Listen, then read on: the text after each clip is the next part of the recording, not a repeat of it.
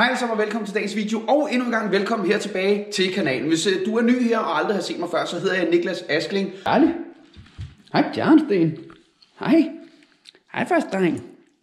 Glæder du dig også? Og jeg er rigtig glad for, at du tuner ind, fordi i dag bliver det en helt speciel vlog. I dag, der skal jeg nemlig til Fyn. Jeg skal over hente min helt nye bil. Jeg skal over hente drømmebilen, fordi jeg har altid drømt om at kunne købe sådan en bil som den, jeg skal over og hente i dag. Det er min kæreste og jeg, der har købt den her bil sammen. Det er en rigtig stor beslutning, en rigtig stor investering, og i dag, der skal I bare med på turen, så jeg håber, I vil nyde det. Lækker bil, knap så lækkert vejr, men må ikke det går, fordi når man skal... Altså, det, det, det bliver bare en god dag. Der er ikke noget, der kan ødelægge mit humør i dag. Jeg skal over og hente den her bil, så jeg tænker bare, lad os komme afsted.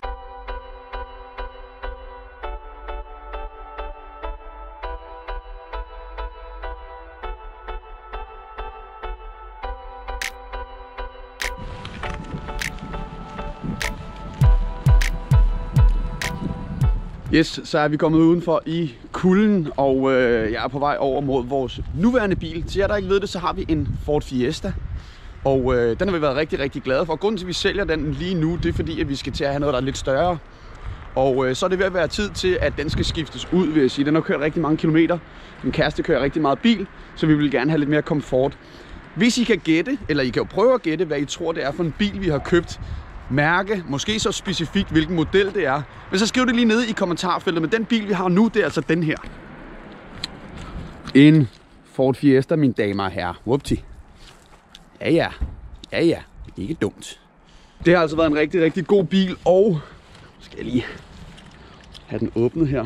Det har altså været en rigtig, rigtig god bil, og det er bestemt ikke, fordi vi klager, men man skal jo skifte bil i ny og næ. Der skal selvfølgelig være en rigtig, rigtig god grund til, at man skifter bil. Og det synes jeg også, der er. Så øh, jeg tænker bare, at vi får startet op her. Så skal jeg lige ned og have lidt, lidt mams. Lidt til turen. Og så er vi ellers på landevejen. Jeg skal køre cirka en time og 45. Og så er jeg ankommet til Fyn. Søndersø nærmere bestemt. Jeg skal over til en forhandler, der hedder K. Andersen. Kjeld Andersen. Så øh, ja, han har været mega, mega, mega flink og rigtig, rigtig god i forhandling omkring den bil her, så der vil jeg godt lige give et lille skud ud til dig, Kjeld. Øh, indtil videre har det i hvert fald været en kæmpe fornøjelse. Men lad os komme ud på landevejen, lad os komme afsted.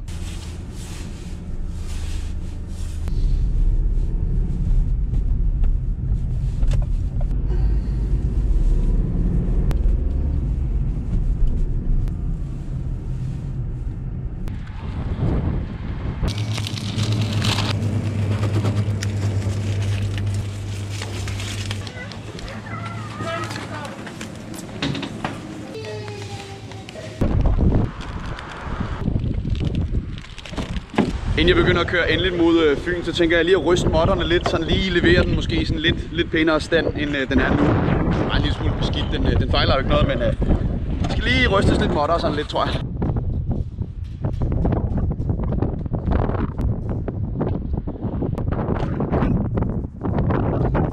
Lad os så komme afsted. Don't know, babe. When you hold me. Ah, best part, hvis ikke I har hørt den endnu. Tune in, Spotify. Emma Askling. Frederik Leopold. You will know that you are. To. Take it away, Frederik. Come on. Hold til højre ind på frakørslen mod E20V.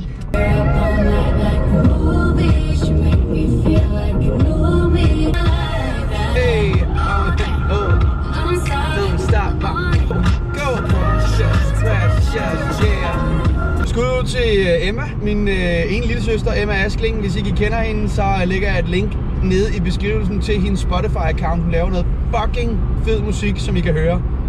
Det er lidt af det, jeg skal høre hele vejen til Fyns, Fynsland Fyr. Men øh, skud ud til Emma. Hun blev 18 her den 15. december. Og øh, jeg er bare mega, giga stolt af hende i forhold til alt, hvad hun har opnået indtil videre i en alder af kun fucking 18 år. Hun har oplevet så meget, hun har opnået så meget, og øh, jeg ved bare, at der er en mega lys fremtid øh, forud for hende. Så øh, Emma, hvis du ser det her, jeg elsker dig, og øh, jeg er fucking stolt af dig. Men ikke så meget sniksnak. Musik. Musik er på favores. Lad os køre.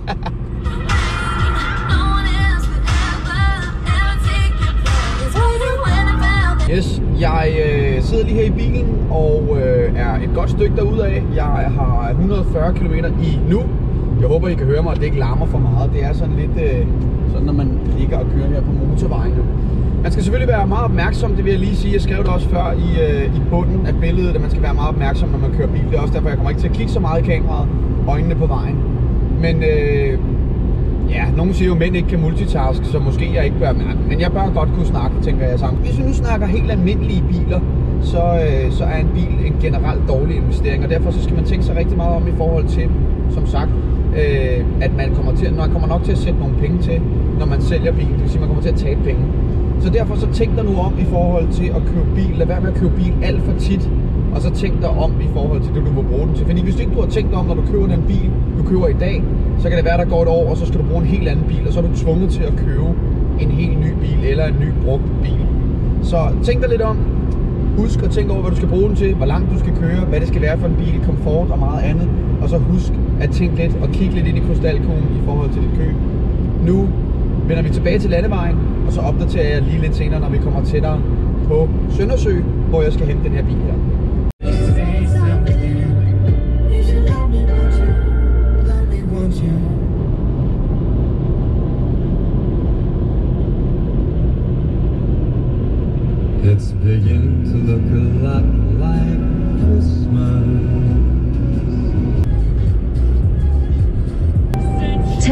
Kørsel 54 Vissenbjerg.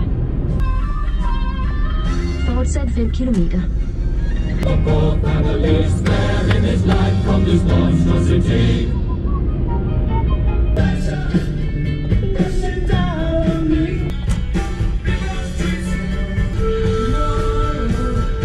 Yes, så er jeg nået frem til Kjell Andersens automobile her i Søndersø.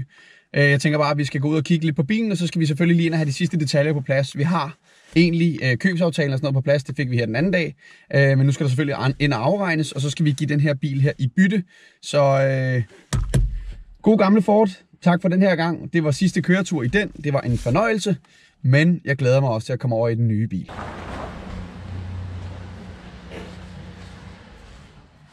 Så kommer jeg ind i garagen og prøver lige at se den her basse her. Det er altså øh, drømmebilen, og hvis du havde gættet det, så er det en Mercedes CLA 200 2,2 tror jeg, diesel. Og ja, men det er... øh, kæft, prøv lige at se den her bil her.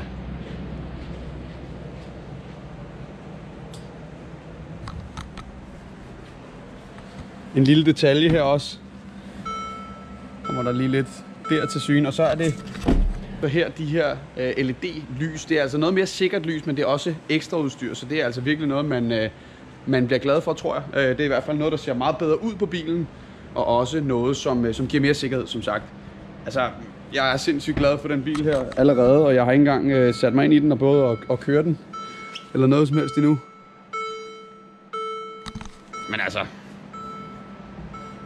ja, jeg, jeg kan slet ikke fatte, det, at jeg kører væk i den her bil her. Det er, det er en drøm, der er gået i opfyldelse, det må jeg sige. Jeg har altid, lige, lige siden jeg var lille, gerne vil have en, en Mercedes, Audi eller BMW. Og i dag, der, øh, der går drømmen i opfyldelse. Men jeg tænker, at vi lige skal, skal vi ikke lige lave lidt lækre billeder af den bil her? Det fortjener den.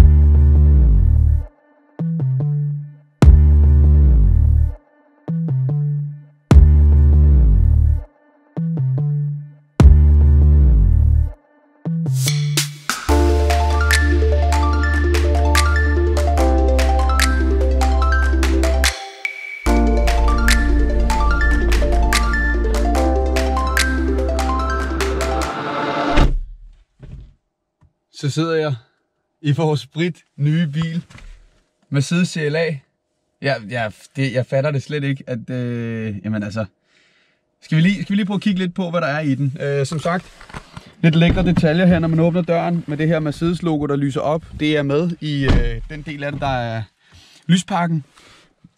Det er en 2017'er, skal jeg skynde mig at sige. Så er der selvfølgelig øh, elruder hele vejen rundt. Der er et lækkert lille display her, lidt blæser. Nu skal vi have vi smidt noget lys på her af en eller anden art. Auto tror jeg faktisk bare, vi kan lade den stå på. Det her logo her, Så er der, så er der nøgler. Det er en øh, nøgleløs, det er nøgleløs betjening, så det er med start-stop-knap. Så det er lækkert, der skal man bare have den her i lommen, hvis man vil det. Sådan der. Klimaanlæg, som I kan se her. Nu har vi lige prøvet at få den startet her. Krom detaljer. Start-stop-knap. Display, så videre. Får lige sat den i frigear her. Vi slukker lige for det der. Bum. Øh, så skulle der gerne være en øh, skærm. Ja, ja, ja, ja, rolig nu. Så skruer vi lige lidt ned. Men en lille Mercedes-Benz logo, der kommer til syne her. Pas på, systemet må ikke aflede din opmærksomhed. Det er sgu meget smart, at man lige skriver det her. Apropos drive safe, som jeg sagde tidligere. Så er der lidt forskellige muligheder her for at gå ind i noget menu her. Ja, den styrer man på knappen her. Der er to kopholder en kortholder. Så er der sådan en lille bubs i 12 volt. Der er mulighed for at lade, troede jeg. Hvad er der her? Så kan man lægge telefonen her. Så kan man også fjerne den her holder, og så er der nogle stik her. Jeg tror, jeg ved ikke om I kan se det, men der er to gange USB-stik. Man kan lade telefonen og også slutte den direkte til. Der er selvfølgelig også USB. Øh, USB. Der er selvfølgelig også Bluetooth i, så man kan slutte sin telefon til. Det tror jeg lige, jeg vil prøve en gang. Galaxy S9, ja tak, der var du. Men Niklas, hvorfor har du en Galaxy S9? Jeg troede, du havde en iPhone. Det kommer, det kommer. Jeg har teaset det rigtig mange gange nu, og jeg kan fortælle i den her video, at den første i første kommer der en video ud, hvor jeg fortæller den største nyhed for den her kanal nogensinde. Så husk nu at subscribe, hvis ikke du gør det i forvejen, så du kan følge med. Vi forbinder lige telefonen. Jeg sidder lige og godkender lidt forskellige ting på min telefon der. Og så kan jeg gå tilbage. Og så kan jeg... Så her der kan man også lige... Jeg tror sgu lige... Jeg ringer sgu lige til min mor. 22. Det var lige, vi skal ringe. Hvad så, Mr. Mercedes? Jeg har forbundet min telefon Bluetooth, og så, så jeg ringer bare lige fra den nu her. Så... Nå, nå, Nå, ja. Mm, nå, nå, ja. det, nå, det er bare en del af bilen. Nå, nå, okay. Men øh, jeg kører herfra nu. Jeg sidder faktisk lige og laver en lille vlog. Øh, skal jeg komme forbi jer, eller hvad? En tur? Ja, det må du gøre. Jamen, Det det, er hjemme i hvert fald. det tror jeg sgu, jeg vil gøre så. Og der er lige lidt lagkage, hvis Ui. det er. Ui, Uh, la, la. Jamen, så tror jeg, jeg vil køre nu, mor. det lyder dejligt, skat. Vi ses snart. Vi ses. Gør vi. Skal jeg gøre? Hej. Nu vil jeg simpelthen køre mod Sjælland, men hold nu kæft, det bliver, det bliver en sjov tur hjem. Jeg vil ønske, at min kæreste kunne være med, men øh, hun er ikke hjemme i den her weekend, og øh, så aftalte vi, at det var fedest, at jeg bare fik den hentet, og vi bare ligesom fik den nye bil. Nu havde vi taget en beslutning, men jeg glæder mig mega meget, og det kan I også følge med i. Senere, der skal jeg nemlig hente hende ud i lufthavnen, og der henter jeg hende i den her. Hun ved godt, at jeg har hentet den, ellers ville det være en jerndød surprise. Men øhm, ja, vi henter hende senere, men nu der går turen altså tilbage mod Sjælland. Jeg vil spare jer for køreturen, og så ses vi, når jeg er hjemme hos mine forældre. Så er jeg kommet hjem til mine forældre. Man kan sådan lige, man kan lige an. Hvad synes I om bilen? Kan vi bare få en kommentar om det? mega nice! Woo! Yes, så kom jeg hjem.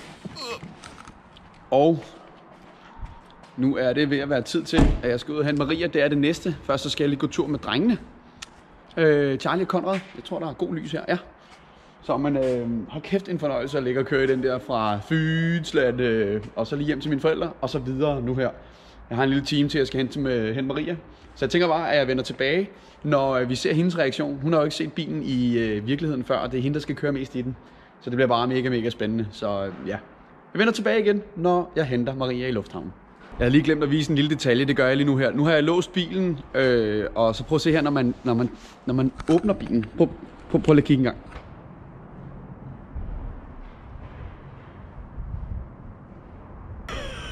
Hvad siger Hej, du til den? bil. Hej, hvad siger du til den?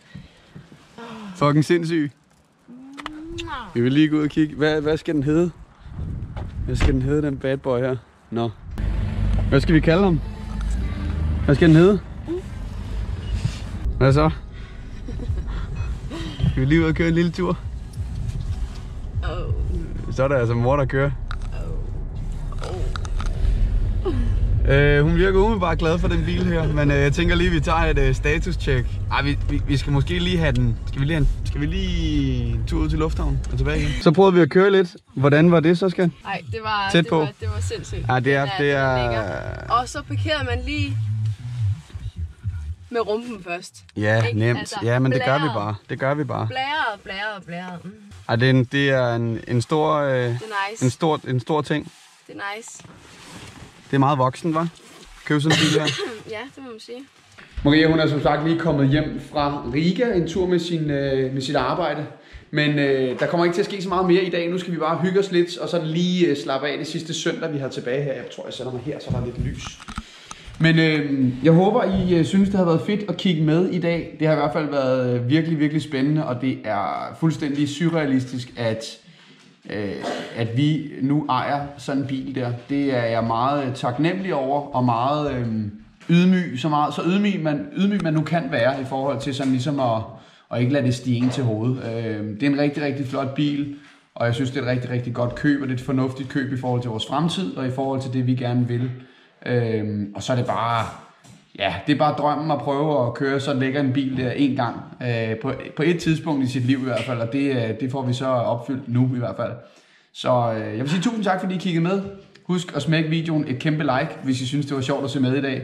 Øh, der kommer meget mere fra mig, måske ikke lige med biler, ikke lige forløbet, men øh, husk at subscribe nede for, hvis I kunne tænke jer at følge med. Der kommer altså til at ske sindssygt meget på kanalen fremadrettet, og især i 2019, det kommer til at være et meget spændende år, og øh, der kommer også til at være noget mere smæk på kanalen, end der nogensinde har været. Så så kan I jo tænke lidt over, hvad der skal ske. Først i første laver jeg en video, hvor jeg fortæller det hele, så abonner, hvis du kunne tænke dig at se med på den. Og ellers så er der bare tilbage at sige tak, fordi I så med, og til vi ses igen næste gang. Ha' det rigtig godt.